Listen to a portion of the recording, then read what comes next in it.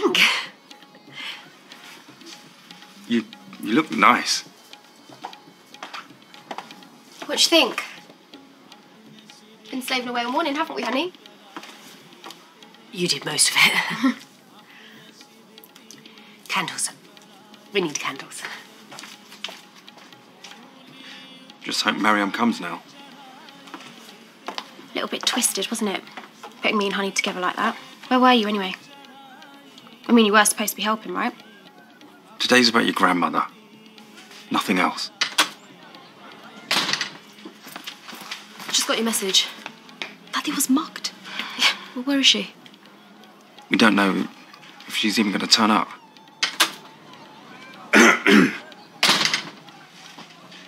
Yes, she is.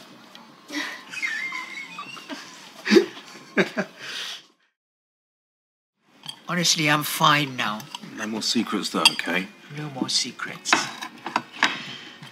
Anyway, um, I should go. I'm really glad you're okay.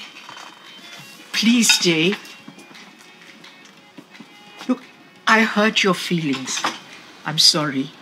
It's not about my feelings. You've still got a problem with who I am, that I'm gay.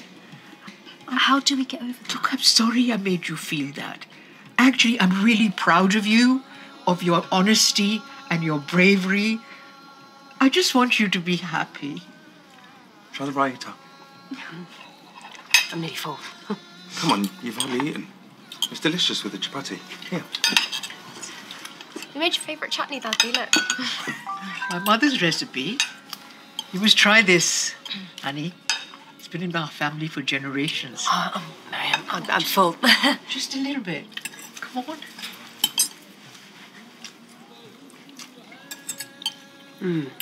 It's yummy. It's nice, isn't it? Great job, Habiba. Excuse me. Little girl's room.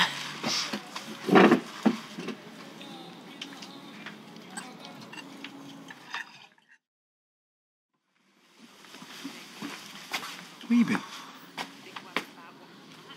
You just brush your teeth. I just thought, um, the garlic. You know, don't, don't want to spoil the magic. Isn't it just wonderful seeing the family all around? Not all the family. Mariam, It all reminds me of home, where we grew up. Do you think we'll ever go back? what? Because time's running out, Arshad. What are you saying? I think I want to go back. I want to move back home to Pakistan.